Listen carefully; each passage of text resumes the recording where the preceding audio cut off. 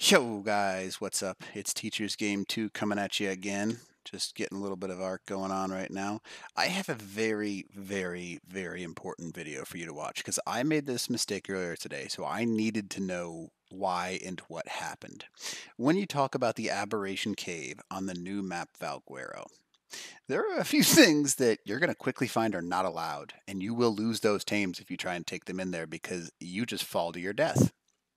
Now there's a couple ways in, and I'll show you those in a different video, but I have all of the flyer tames here in front of me because I wanted to test them out to see what you can and cannot use inside of the Valguero cave. Now, obviously, some of these are like, okay, duh, you can't use that, no on and so forth. But I'm going to walk up to each one so you can actually see which ones you can and can't use. These are all force tames, so you could just get on them and ride them if you wanted to. Tapejara, you cannot ride it. No, no, no, not today. Argentavis, you cannot ride it. No, no, no, not today. Quetzal. Nope, you cannot ride it. No, no, no, not today. There are a few you can ride, though. However, the Pteranodon. No, no, no, not today. Griffin also. No, no, no, but you can get on the back of it and hang out, I guess. That's about all you can do.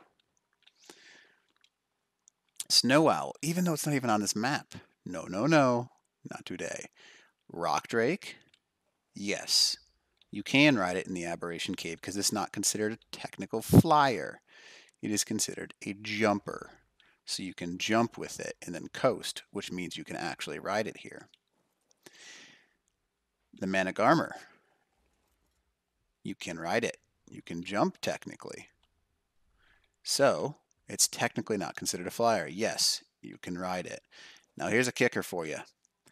Wyverns, no, no, no, you cannot ride them in this cave. So there are only two tames you can actually sort of fly with inside this cave. Neither of them can be tamed on Valguero, the Rock Drake and the Managarmr.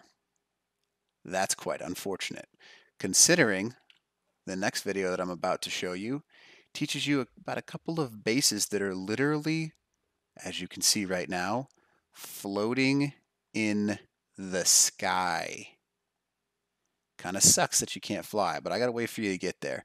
Go ahead and, uh, if you want to give me a like and subscribe, and I'll keep pumping out these videos with the valuable stuff for you to know on this new Valguero map.